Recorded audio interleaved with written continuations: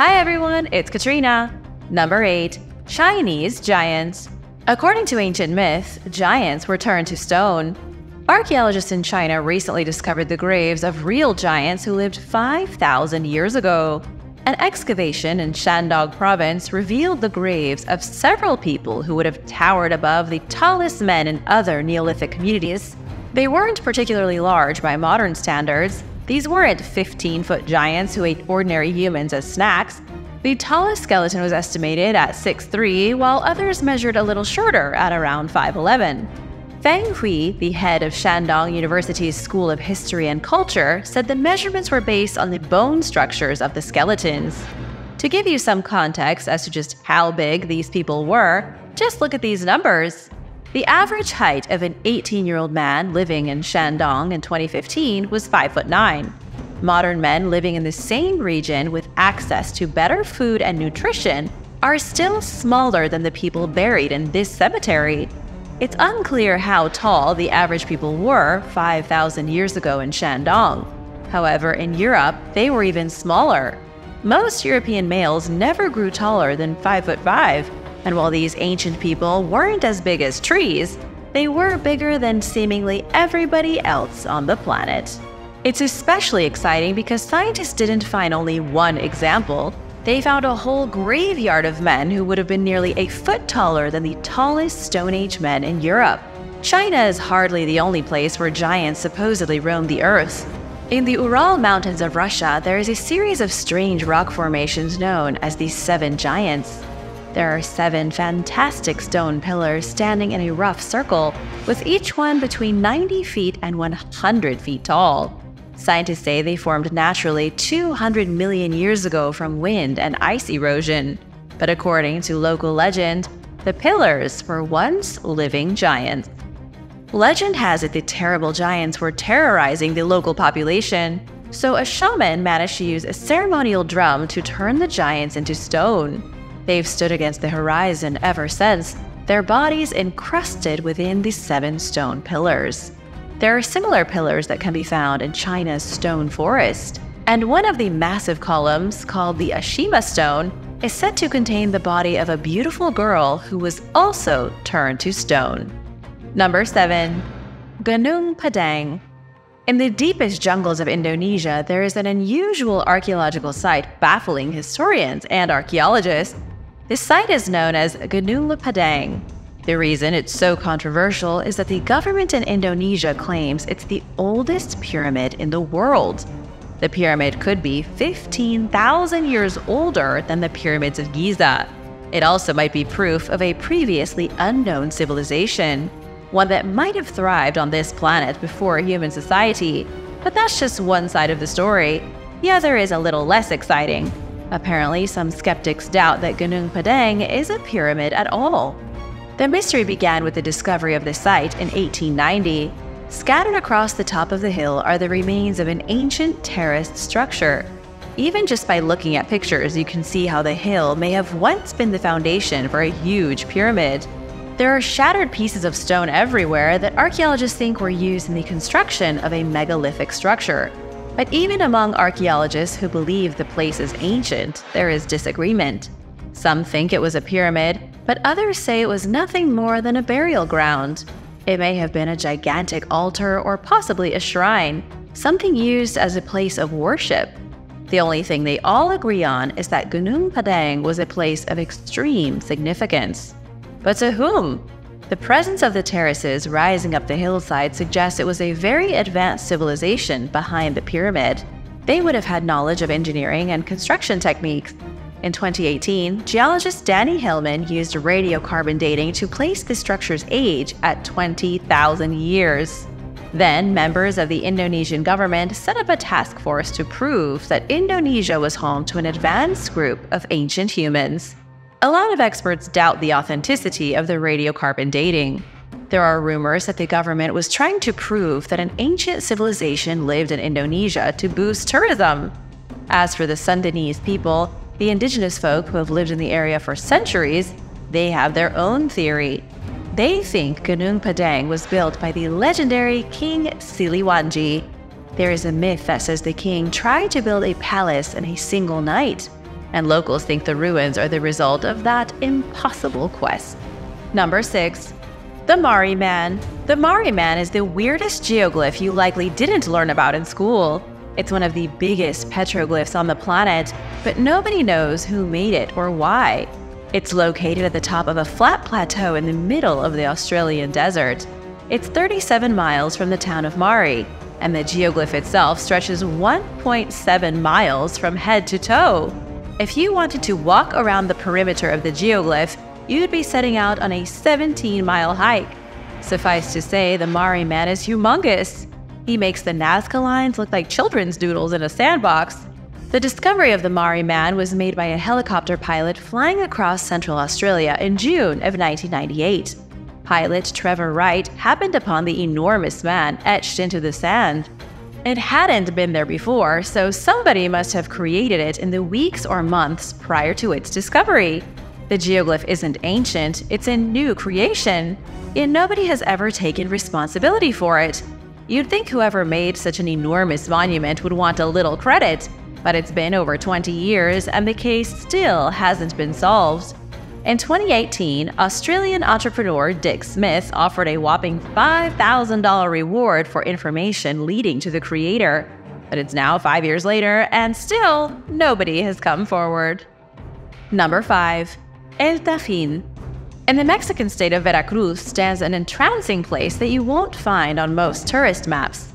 It's the lost city of thunder called El Tajín. It's a recognized UNESCO World Heritage Site, but it holds mysteries that scientists have never been able to fully unravel. Based on archaeological evidence found throughout the city, El Tajín flourished between 600 and 1200 AD. You might think this was a Mayan city or an Aztec city, but in fact, it was populated by the Veracruz culture.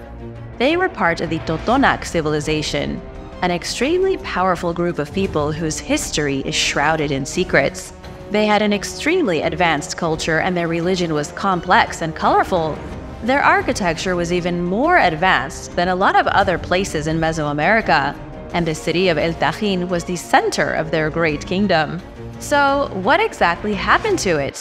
One of the most impressive structures in this city is the Pyramid of the Niches, carved with a dizzying array of 365 small niches. Experts think that each one represents a single day in the year. It may have been a pyramid style calendar, though no one can say for sure.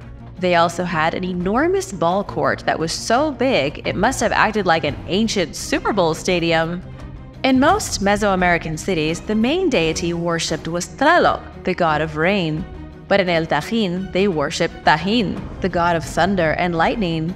Great rituals were held in which dancers hung suspended by ropes attached to 65 foot poles. It was a wildly mythical place. But then it was suddenly abandoned. Around the year 1200 AD, everyone packed up and left for a reason that scientists have never figured out. Number 4. Ancient Time Lords. The oldest calendar in the world was found in a Scottish field. Scientists were excavating Warren Field near Crathes Castle when they came across a series of pits. Researchers from the University of Birmingham believe the pits were dug as part of an early calendar meant to track the phases of the moon. If true, it would be extremely impressive because of the date in which they were created. Tests at Warren Field have shown that the pits were dug about 10,000 years ago. The assumption is that they were made by primitive hunter gatherers, they couldn't have been that primitive if they were making moon calendars. The pits align perfectly with the midwinter sunrise.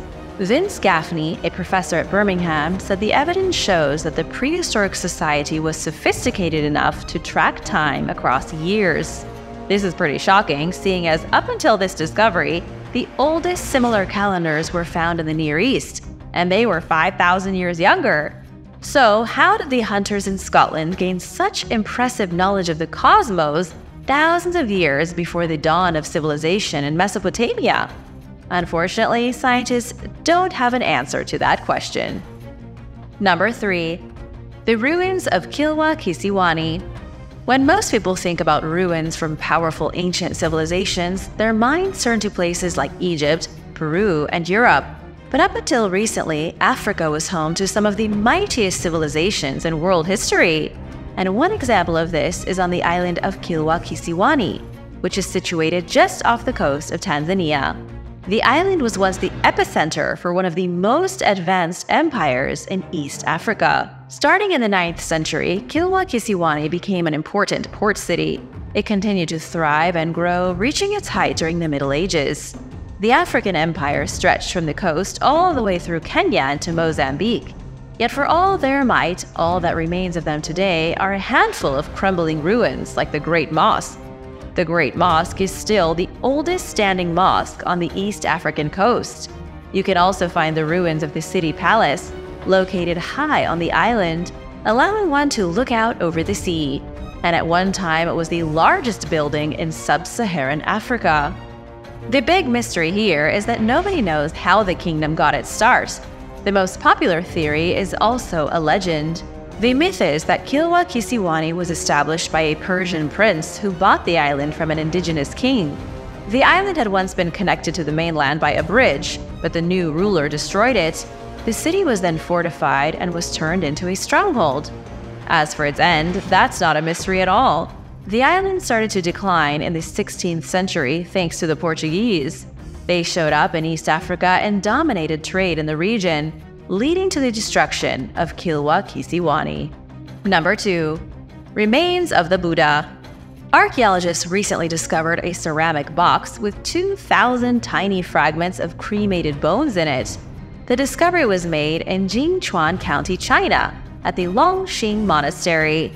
Experts behind the find think the cremated bones belong to Siddhartha Gautama, who is also known as the Buddha. The Buddha was a very real person who lived and died 2,500 years ago. Just like Jesus Christ, historians are almost certain he was a real historical figure. Jesus Christ laid the foundations for Christianity, while Siddhartha Gautama led the foundations for the Buddhist religion.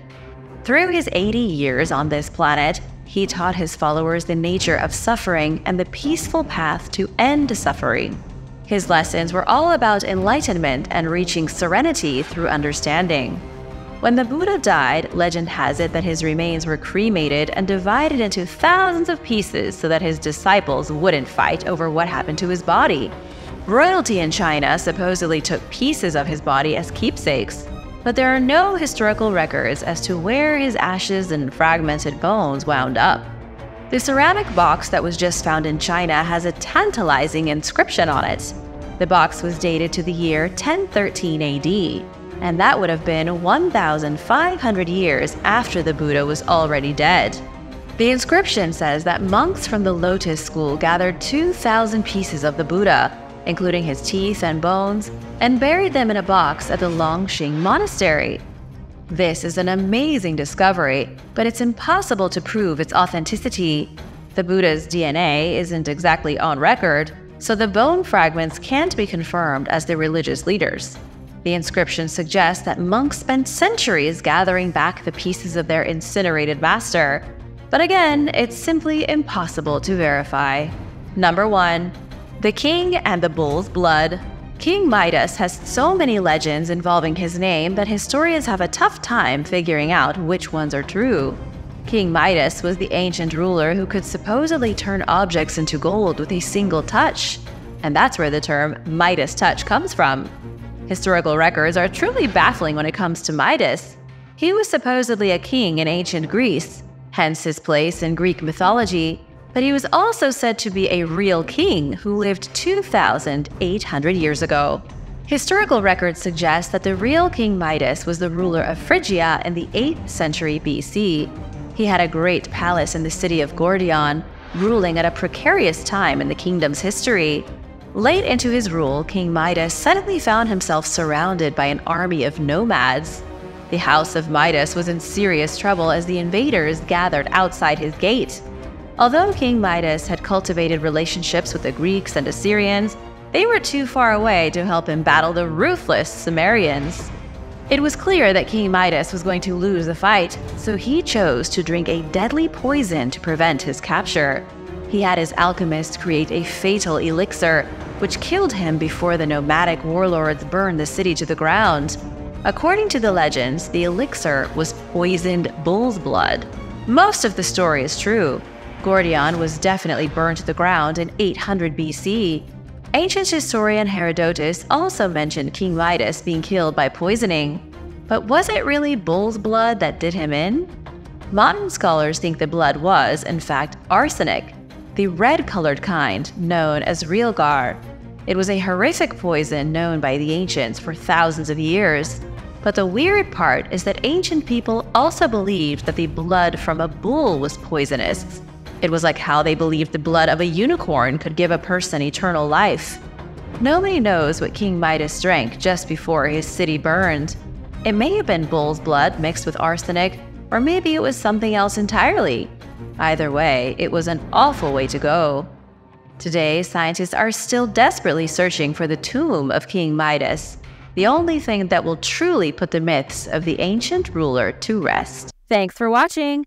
Be sure to stay tuned for extra content you might have missed. San Agustin Archaeological Park the San Agustin Archaeological Park in Colombia is one of the biggest collections of religious artifacts throughout the entirety of South America, and it might just be the biggest prehistoric cemetery on the planet. San Agustin is listed as a UNESCO World Heritage Site and has over 500 statues, tombs, and sarcophagi dating back over 2,500 years old, when a northern Andean culture ruled from the 1st to the 8th century. Located in the southwestern Andes of Colombia, there are earthen burial mounds with ceremonial sites, all connected to each other with pathways and terraces. There are monolithic stones with carvings of gods and mythical animals done by skillful artists that demonstrate the creativity and imagination of the society. It was one of the earliest complex societies in the Americas, and the tombs contain elaborate funerary architecture and decor. Many of the sculptures and monoliths depict death and the process of dying. There are a wide array of styles represented in these works, some of them realistic and others more abstract. But the strange mythical animals and godlike faces embedded into the stone evoke ideas of passing into the next life. Next to some of the biggest burial mounds, you can also see more threatening creatures like snakes and scary birds, presumably placed there in order to defend the dead. This site was abandoned around 1350 AD for unknown reasons. Peruvian idols. In 2018, Peruvian archaeologists uncovered the remnants of a mysterious passageway which was adorned with strange figurines made out of mud and wood. They found this passage in an archaeological site known as Chan Chan, a UNESCO World Heritage Site which is located just outside of Trujillo, Peru. Chan Chan was the capital of the Chimor or Chimu Empire, which ruled over the region from around 900 to 1470 AD, when they were defeated and taken over by the Incan Empire. The Chimu are considered the best architects of ancient Peru, thanks to constructions such as the citadel of Chan Chan, the fortress of Paramonga, and the Chimu Wall. In Chan Chan, archaeologists have discovered the sacrificial remains of over 140 children and more than 200 llamas dating to between 1400 and 1450 AD. This strange passageway is yet another incredible find in the area. There were 19 of these sculptures found inside of the corridor, estimated to be around 750 years old. They measure about 2 feet tall and line the corridor on either side. All of them bear scepters in one hand, a trophy head in the other, and wear clay masks. They also each have shields on their backs. They've been dated back to sometime between 1000 to 1300 AD, which make them the oldest sculptures yet found in Chan Chan. Experts think that these sculptures were probably guardians since they were located at the main entrance. They also would have been used to mark tombs of important figures from the Chimu culture. This is the first time a corridor or hall like this has been found at the site, and besides these sculptures, has all kinds of decoration. There are images of flowing waves and squares, kind of like a chessboard. Archaeologists believe they represent the sea and fishing nets. There's also some kind of cat like animal on the walls with spikes and a raised tail, which was apparently a part of many cultures during that time period. Monteverde. Monteverde is a now famous archaeological site located around Puerto Montt in southern Chile, and it's one of the oldest examples of human occupation in the Americas. Some think that it was inhabited as early as 12,500 BC, but the people who discovered it didn't know that. In fact, it was discovered by a group of lumber workers who thought that something might be up when they saw a bunch of big animal bones on the eroding sides of a creek. They called in archaeological authorities, who discovered that it was much more than that. Vanderbilt University archaeologist Tom Dillehay and his team discovered evidence of human occupation that had been preserved for all of these years under a peat bog. The animal bones were just the beginning. There was a tent like structure that was about 60 feet long, which could have sheltered around 30 people. There were various support posts that seemed to indicate various living areas. They also found three sets of footprints that had been preserved into the clay. Plus, there were a number of tools made out of pebbles that had probably been used for scraping and cutting. When they tested the charcoal from some hearths or ancient fireplaces that they discovered on site, they dated Monteverde to around 14,500 years ago. Over the years, more evidence has been found that these early people weren't just nomadic hunters, they were perhaps one of the first year round human settlements in the world. Plus, they also had advanced crafting capabilities. They apparently used 10 different kinds of seaweed from the coast, about 50 miles away from their community, to make both food and medicine. There is still an ongoing debate as to when people arrived and settled in the Americas, with some estimates going back 30,000 years or more. But the archaeologists excavating here don't think that people were present that long ago. 15,000 years seems to be the most supported date in the past. Cave of Hands La Cueva de las Manos, or the Cave of Hands, is well out of the way of everyday civilization. Located in the Patagonia region of Argentina in the Pinturas River Valley, you can only get there by making a long trek through treacherous gravel roads. However, for those who dare to make the journey, you'll learn that it's well worth the effort. The Cave of Hands contains some of the most intriguing and mysterious cave art that the world has ever seen. It is also considered some of the earliest forms of cave art, dating back around 10,000 years ago. Surprisingly, not all of the art in the cave comes from one group of people. In fact, archaeologists have identified three different styles of artwork inside the caves, all of which are impressive in their own right. But the star of the show is without a doubt the stenciled handprints. There are hundreds of these hands lining the walls of one part of the cave, with a surprising array of colors. Those were probably made around 5000 BC. But how did the ancient people make these paintings in the first place? Experts think that they used their own hands as a guide. They'd craft spray pipes out of bones, hold their left hands up against the cave walls, and use their right hands to stencil them. To get the different colors displayed on the caves, these artists would use different kinds of minerals. For example, iron oxide was good for red and purple, manganese oxide for black, and so on. There are also paintings of animals and humans, and other art depicts hunting with tools, providing us a small window into what life was like for people there so long ago. Spiral shaped mass grave. Recently in 2018, archaeologists were excavating an ancient settlement known as Tlalpan just south of Mexico City. Here they found something quite surprising a grave from around 2,400 years ago. But it wasn't just the fact that it was a grave. As archaeologists dug deeper, they discovered that there were 10 skeletons all arranged in a strangely planned spiral shape. Although there have been a number of intriguing discoveries inside of the Tlalpan archaeological site, this one might just take the cake for the creepiest and most mysterious. Most of the skeletons belonged to young adults, both male and female. However, there was also a single older adult, a young child, and an infant, estimated to be around one month old. These bones were arranged laying on their sides with their arms interlocked into a big circle. There's also evidence to suggest that at least two of their skulls had been purposefully modified during childhood, perhaps due to some religious practice.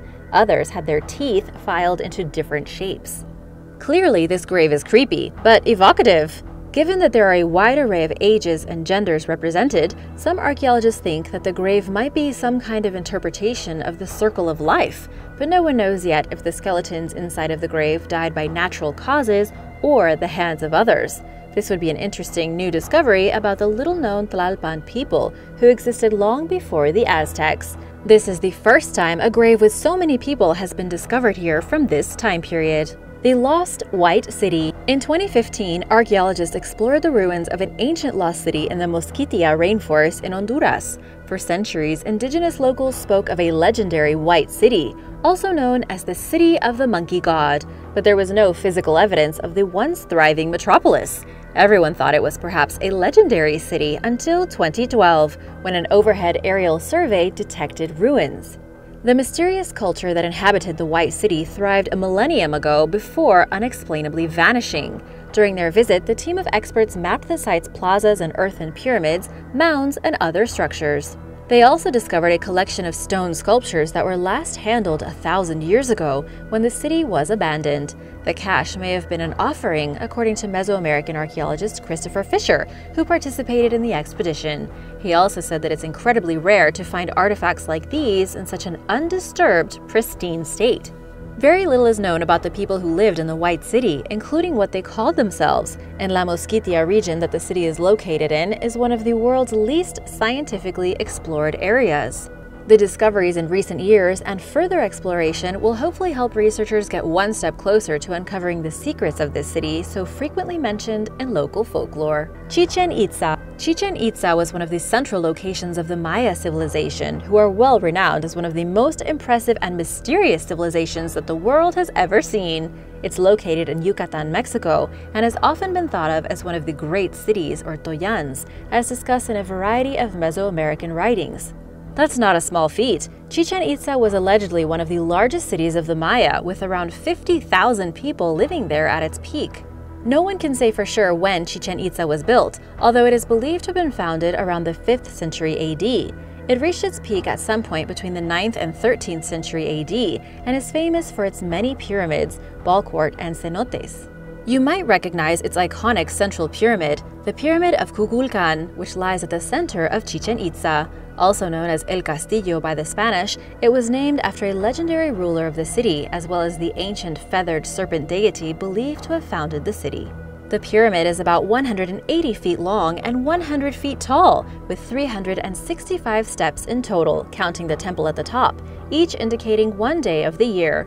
There are nine stages to the pyramid, each of which corresponds to a month on the Mayan calendar. These strange factors indicate that Mayan architects were incredibly proficient in mathematics and astronomy. It was built in order to give way to the descent of Kukulkan, which is one of the most mysterious natural light shows ever observed in nature. It is believed that the site has special powers, perhaps caused by thermodynamics or strange electrical currents, but every year it is believed that the god Kukulkan makes an appearance in some form or another. The monuments left behind by the Maya are some of the most incredible and mysterious in the world. Humpback whale. Early last year, local fishermen got a surprise when they discovered something pretty strange in the middle of the jungle a 26 foot baby humpback whale carcass. It was found on the Brazilian island of Marajo, which is situated near the mouth of the Amazon River.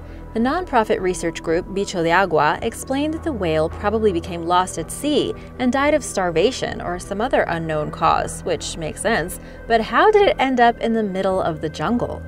It's most likely that high tides washed the whale's body ashore and then carried it deep into the mangrove forest. It likely passed away four to five days before it ended up there. Researchers hope that a necropsy and DNA test will yield more information about where the whale came from and how it died.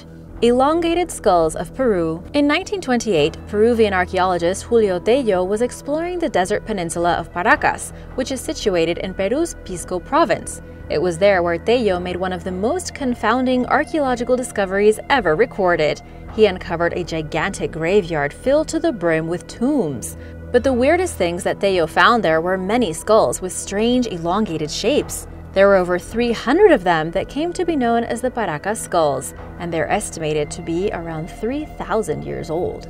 They are the largest elongated skulls ever found in the world so far, and recreations of what these people may have looked like are a bit frightening. So, of course, everyone started wondering who were these people and how did their head become this way? In 2014, a geneticist tested the DNA of some of the skulls and found that their DNA had mutations that didn't match any animal on Earth. Of course, then speculation started flying that this was proof of aliens. In 2016, further DNA testing suggested that these skulls came from somewhere in Europe or perhaps the Middle East, but this means that our preconceived notions about who was traveling to South America in the ancient past may be incorrect. However, most of this is up for debate. Some people think that the data isn't entirely legitimate, but there is no denying that these are strange skulls. You can find the Paracas skulls in the large collection of skulls housed inside of the Museum of Anthropology, Archaeology, and History, which is located in Lima, Peru. There are somewhere around 10,000 indigenous Peruvian skulls in their collection, with the Paracas skulls being perhaps their most popular exhibit. It is believed that these skulls were shaped this way at birth, but the reason for why is unknown. Interestingly, Purposefully deforming a child's head is a relatively common practice around the world in cultures that are completely separate from each other, with some scientists suggesting it was used to show wealth, social status, or tribal affiliation. The act of cranial deformation, at least in Peru, has proven to not reduce cognitive ability despite what it may look like. Thanks for watching! What's the most mysterious discovery for you? Let me know in the comments below, and don't forget to subscribe and click that notification bell so you don't miss out on the latest videos. See you soon! Bye!